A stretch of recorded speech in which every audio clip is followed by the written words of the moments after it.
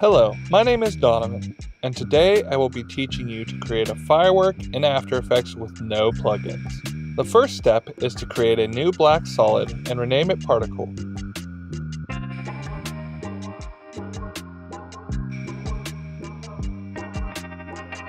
Duplicate this layer and rename it Lens Flare and make sure it's below the particle layer for visibility. Under the Effects tab, search CC Particle World and apply it to our particle layer. Let's retime the particle world by dragging the layer to see the effect. We will go into the Physics tab of our particle world and change the velocity and gravity to zero.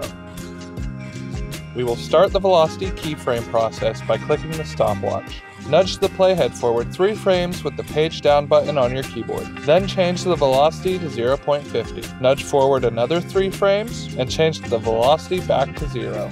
This is the animation you should currently have. We will fix the cluster in the middle by adjusting the birth rate with keyframing next. Using the playhead, we will line up our birth rate keyframes with our velocity keyframes.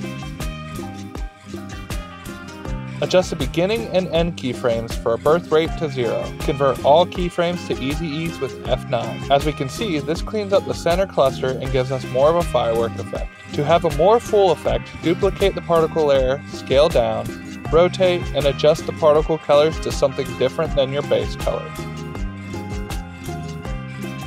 This is our basic animation. Now to add a flash of light. Drag our lens flare to the top and then search lens flare in the effects bar. Drag and drop this effect on this layer. Adjust the center of the flare to the firework. Add a tint to the lens flare and change its color to match your particle world colors. To see the firework, we will need to change the lens flare's blend mode to screen for transparency. The final step is to keyframe the lens flare's brightness to match our previous two sets of keyframes, 0% on the first, 100% on the second, and 0% on the final keyframe. Simply drag and offset the lens flare layer to match the timing of your particle world, and you're done. This is how you animate a firework in After Effects with no plugins.